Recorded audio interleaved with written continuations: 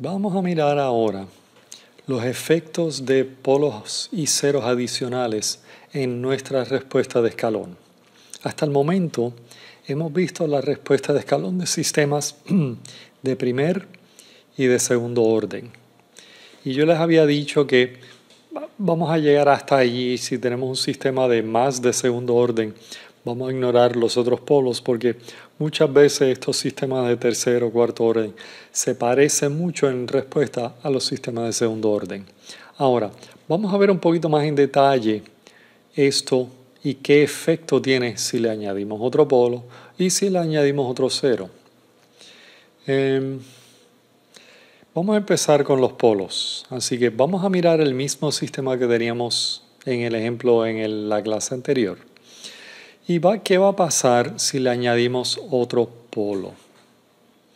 Eh, específicamente, vamos a suponer que tenemos los mismos polos que teníamos antes en menos z omega n y más menos j omega raíz de 1 menos z al cuadrado. Y vamos a añadirle otro polo real. Y el polo va a estar en nega, negativo alfa r. Eh, para efectos de la respuesta de escalón, pues vamos a tener lo mismo que teníamos antes.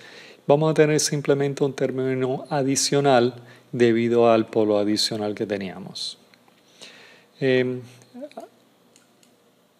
lo, que, lo primero que se nos debería ocurrir, obviamente, es que la respuesta va a depender de dónde está este polo.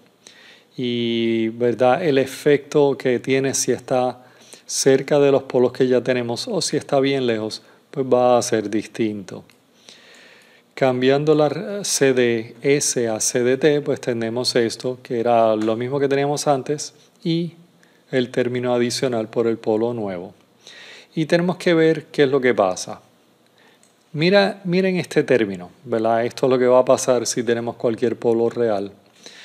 Eh, K4 es simplemente una constante. Y este término e a la menos alfa RT va a ser un término que tiende a cero con tal de que el polo esté en el semiplano izquierdo. Estamos presumiendo sistemas estables, así que este polo va a estar en el semiplano izquierdo. Así que alfa menos alfa r va a ser negativo y este término tiende a cero. Así que nos podemos imaginar si esto es bien grande, o sea que si alfa r, el polo, está bien lejos del origen, pues entonces este término se va a ir rápidamente a cero y el efecto va a ser bien poco. Ahora, si el polo está bien cerca del origen, entonces este término se va a ir a cero lentamente y va a tener un efecto grande. Ahora, lo que realmente deberíamos hacer es, ¿dónde está el polo relativo a los polos complejos? Eh, Así que si alfa R es grande relativo a, Z omega n, pues entonces el, polo va a tener un efecto pequeño. Si no, pues va a tener un efecto más grande. Aquí hay un par de problemas que pueden hacer que tienen que ver con esto. Ahora vamos a mirar esto, vamos a mirar la respuesta en MATLAB. Em, y vamos a empezar con este sistema. Vamos a empezar con solamente dos polos complejos. ¿verdad? Tenemos dos polos complejos eh, eh, en menos punto 5 eh, más menos punto más menos no me acuerdo tendríamos que sacar los polos aquí esta sería la respuesta de la función de escalón ¿verdad? el valor final va a ser 1 en cero pues se pasa, hay un porcentaje de overshoot y entonces oscila muy poquito y llega al valor final. Ahora teniendo esto como base, vamos a ver qué pasa con esta respuesta cuando le añadimos otro polo.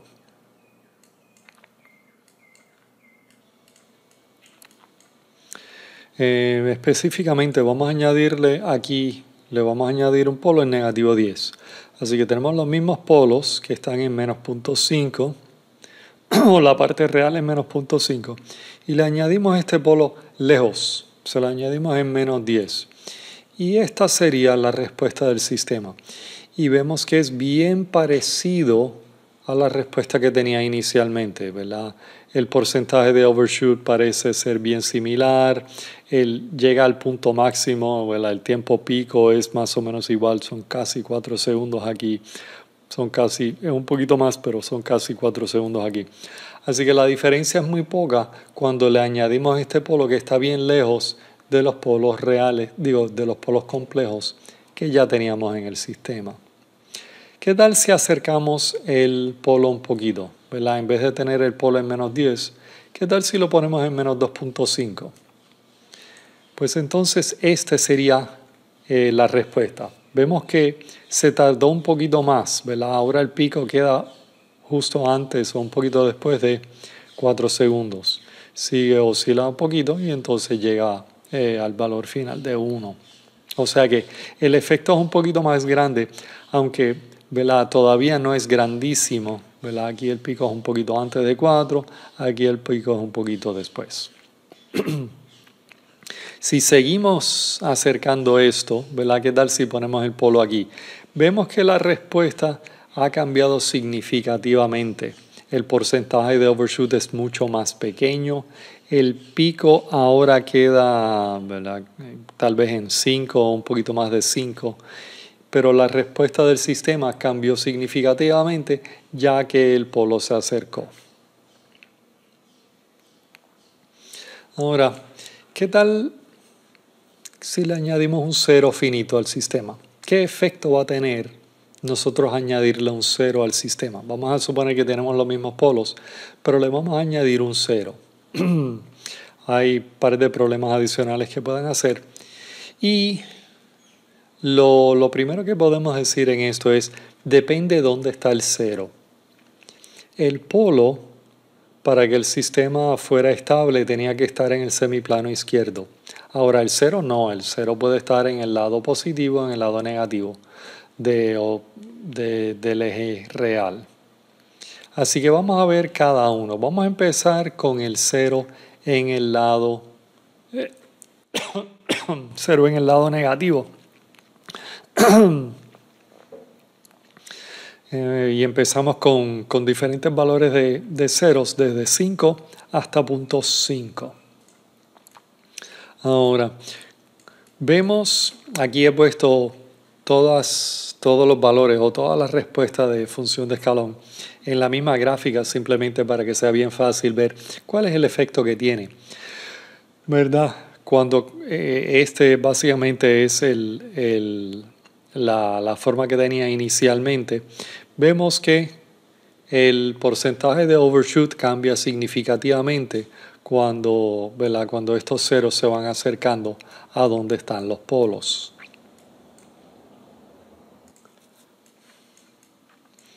Si ponemos los ceros en el otro lado, ahora los eh, ponemos los ceros en el lado en el lado eh, Z sería negativo, así que eh, eh, esto, el, el, cero estaría en el lado positivo.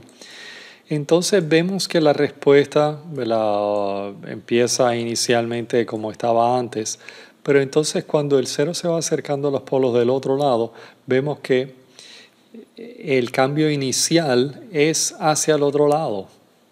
Eh, así que depende obviamente si es positivo o negativo, cómo es que va a ocurrir el cambio aquí.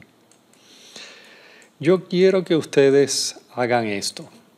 Ustedes en MATLAB o ¿verdad? Cualquier, cualquier software que les permita graficar la respuesta de escalón de, de estos sistemas. Quiero que grafiquen la respuesta de escalón de un sistema de tercer orden que tenga un cero finito.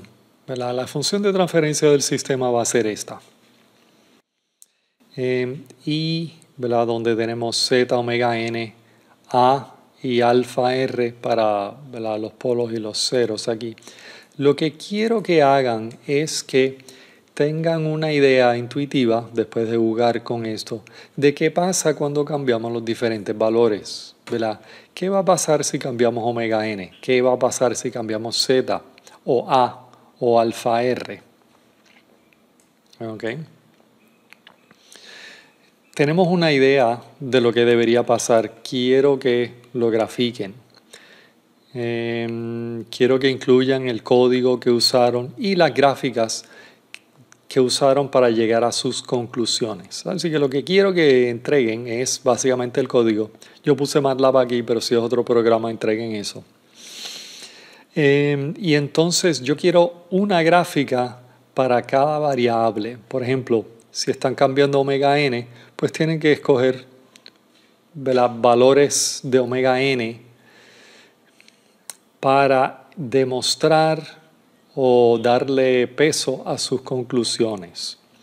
Em, ¿Cuáles otros valores usar? Ustedes deciden. Cuando estamos cambiando uno de los valores, los otros términos están fijados. ¿Qué valores deberían usar? Las que ustedes quieran. Ahora, ¿verdad? Hay unos valores que va a ser más fácil graficar y ver las diferencias. Así que ¿verdad? van a tener que tal vez jugar con esto un poquito para, por ejemplo, si van a cambiar omega n, qué valor de zeta A y alfa R van a usar para, para que sea bien obvio si yo cambio omega n, qué es lo que va a pasar en mi sistema. Quiero que hagan lo mismo con los otros valores. Así que una gráfica para todos y las conclusiones, eh, básicamente las conclusiones de qué pasa cuando cambian ese valor.